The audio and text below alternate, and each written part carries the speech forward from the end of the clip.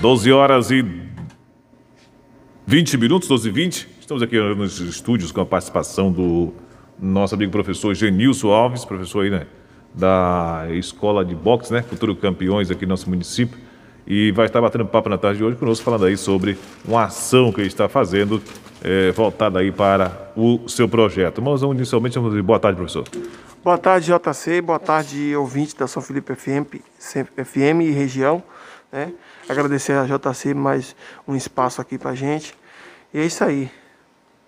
E aí, né, essa ação, né, como é que está sendo, já se iniciou, quando é que se inicia, qual o objetivo da ação também, é, professor? JC, é, a gente estamos com essa ação, é né, uma ação beneficente, que é para a gente poder conseguir arrecadar recursos, para a gente comprar passagem, para nossos meninos poderem viajar para o campeonato né, realizações de estar viajando para o campeonato. E é de, de, muita importância a participação do comércio, né, é, amigos divulgarem, é, pessoas também de outra cidade que também estão assinando. A gente temos essa ação, é, uma rifa, que é duas centenas por 15 reais. É um fogão que está na rifa, uma cesta básica e é, um espremedor de frutas. É, duas centenas por 15 reais. Aí a gente estamos com 500 bilhetes, dividimos alguns, damos a alguns meninos é, já adultos do nosso projeto, coisa de 5, 6 meninos, 25 bilhetes cada um, e eu fiquei com 300 bilhetes na mão para poder estar tá buscando amigos e parceiros para poder assinar um bilhete. Um bilhete que assinar já ajuda, né? É uma rifa beneficente. Então aí, né, o, quem, quem tiver interesse, procurar o professor Genilson ou os atletas que já estão aí, né, com, com os, é, os cupons na mão. Quem tiver interesse, né, me procurar, meu número é 8815 1227 e tem o WhatsApp que é 98 vivo 15 1227. É quase parecido o número. É, ou ir lá no centro de treinamento, né, local em cima do barracão, ou procurar Cristiano, Max, né, Luana procurar essas pessoas que estão com, com bilhete vendendo aí também. É né, uma rifa social beneficente que estão pedindo à população que nos ajude. Temos pouco tempo e ajude esses meninos realizações de viajar para o Campeonato Brasileiro. A gente fundamos a associação, mas ainda está em parte jurídica, a documentação, para a gente poder buscar algum recurso no governo, enfim. Né? Mas a gente estamos com essa rifa social, quem puder nos ajudar, a gente agradece muito. Então, o Campeonato Brasileiro vai ser realizado quando e onde, professor Genilson? E, né, e quais são as categorias daqui do município, né, da escolinha, vai estar participando, da escola de boxe? A gente tam, temos é, sete atletas para disputar o Campeonato Brasileiro, né, na base, e temos dois atletas adultos, né, dois atletas adultos que vão disputar. O Campeonato Brasileiro Adulto será em dezembro, no Espírito Santo, e o Campeonato Brasileiro de 15, 16 anos, 17 anos e 18 está é, tá previsto ser em São Paulo, nada confirmado ainda, é no mês de outubro. E a gente estamos correndo contra o tempo que a gente temos que alguns atletas que vão fazer seletiva dia 28 e 29 em Salvador. Os que não conseguirem a vaga, a gente temos um evento que vai ser em Espírito Santo, Tocantins e Sergipe. Aí a gente estamos com essa rifa para dia 4 de setembro para conseguir recursos para poder viajar com os atletas que não conseguiam a vaga. Para a gente poder conseguir é, colocar algum por outro estado ou até mesmo para o estado da Bahia.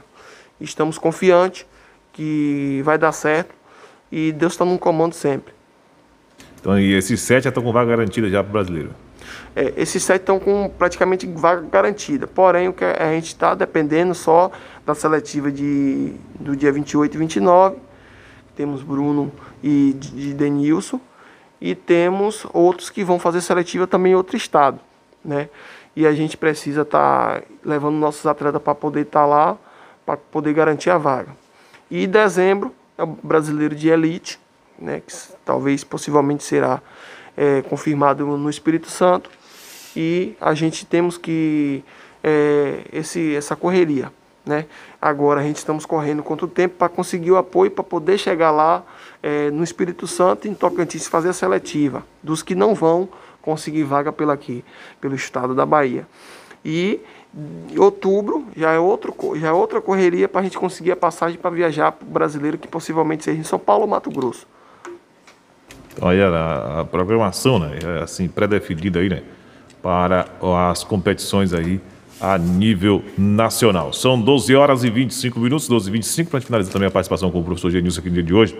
É, alguns atletas, a exemplo né, da Viviane, como é que está a situação? Deve estar acompanhando a seleção brasileira, continua em São Paulo, como é que está aí, né? Esses atletas que é, são oriundos aqui, né, da, escola aí, futuro campeão, mas que já estão aí, né, em, vamos dizer, em outro patamar, em outro nível, professor. Como é que está esses atletas? É, a gente fica muito feliz, né? São Felipe hoje, eu acredito hoje que os nossos gestores, é, vereadores, os políticos, enfim, prefeito, vice-prefeito, as autoridades, comércio, fica muito feliz pelo desenvolvimento dos nossos atletas e, e se pensar, e se pensar, aprender um pouco escutar, quebrar mais um pouquinho a dor de cotovelo, que às vezes tem, escutar as pessoas, principalmente que vem da minha parte. Hoje a gente temos Viviane, está lá na seleção brasileira, oriunda da nossa terra, é, vai vir uma novidade muito boa é, esses dias aí. Vou viajar para o Rio de Janeiro entre o dia 23 a 27, tá? só para confirmar a data com o Cefam. E a nossa menina está lá na seleção brasileira e também faz parte, vai ser formada a terceira sargenta da Marinha. É muito bom que a Marinha do Brasil abraça os atletas do, do, do esporte brasileiro. E ela estava lá nos Jogos Olímpicos, na base de, de treinamento. Infelizmente, em abril não teve o classificatório devido à pandemia, mas daqui a três anos, com fé em Deus, ela vai estar lá representando nossa cidade, nosso Brasil, isso que importa. Estamos muito felizes também que nós, na nossa região, temos o atleta Keno, que foi para São Paulo em 2013 e hoje vem o destaque, é de Conceição do Almeida. Então, a gente tem muito talento em São Felipe também e que precisa um planejamento, um olhar mais com carinho, para a gente poder é, revelar mais ainda. E acredito que ela vai vir aqui ano que vem, porque as férias dela, na correria. Mas a gente vai vir outra notícia boa, que ela vai ser terceira sargenta da Marinha e vai para o Mundial da Rússia, né? o Mundial de Boxe Militar. É muito importante isso e a gente fica muito feliz com isso. Aí aqui a participação do professor Genilson, agradecer a sua participação também. E aí o jovem, qual é o nome do jovem aqui? Cristiano. Cristiano. Cristiano vai falar alguma coisa, né, Cristiano? Cristiano está aqui. Ah, tá falei participando aqui uma entrevista lá, não foi? Foi, de Cristiano lá. Da... Ah, um abração aí para Cristiano, toda a turma lá na UBS ligada com a gente aí, né? E o microfone é sempre à disposição, professor. Eu que agradeço, JC, o espaço. Hoje a gente vai ter um, uma visita de um historiador que está fazendo a matéria, é, que vem de São Paulo, está fazendo a matéria com o boxe da Bahia. Vai estar tá aqui na nossa cidade hoje fazer uma matéria com nossos meninos e a gente também estamos correndo que vai ter outra matéria com o pessoal da Band, do, do, do, do canal Combate. Isso é muito bom que dá visibilidade e aparece mais parceiros. Eu que agradeço e quem quiser assinar um bilhete nossa rifa ajuda muito. Um bilhete que seja ajuda. Né? Eu vejo muitas pessoas fazer rifa, que tem seu corre, rifa é, de, de, de dinheiro e tal. Mas essa rifa é beneficente. Peço ajuda de todos, porque antes o jovem no esporte do que em coisa errada. Tá bom, gente? Deus abençoe.